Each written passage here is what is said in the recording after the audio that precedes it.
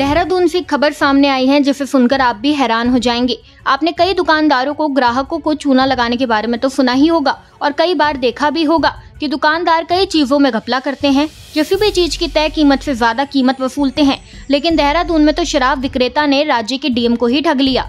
दरअसल देहरादून शहर में शराब ठेकों पर ओवर रेटिंग की लगातार शिकायतें मिल रही थी।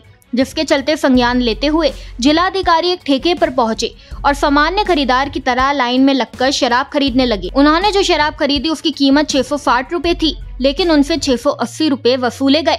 जिसके बाद जिलाधिकारी के निर्देश पर तुरंत कार्रवाई करते हुए जनपद में बड़े पैमाने पर छापेमारी शुरू हो गई। वहीं जानकारी मिली है कि एक ग्राहक को दो सौ की बियर की बोतल, दो सौ में बेची गई, जो निर्धारित मूल्य से दस रूपए ज़्यादा थी। वहीं जानकारी मिली है कि इस कार्रवाई के बाद दुकान के मैनेजर ने लिखित में स्वीकार किया कि उनसे गलती हो गई और आगे से वो ऐसा नहीं करेंगे। निरीक्षण के दौरान ये भी पाया गया कि रेट लिफ्ट अपने सही स्थान पर नहीं थी, जिससे ग्राहकों को कीमतें सही से दिख भी नहीं पा रही थी। इनमें दुकान के खुलने और बंद होने का समय भी नहीं लिखा था। कर्मचारियों के पास कोई पहचान पत्र नहीं था।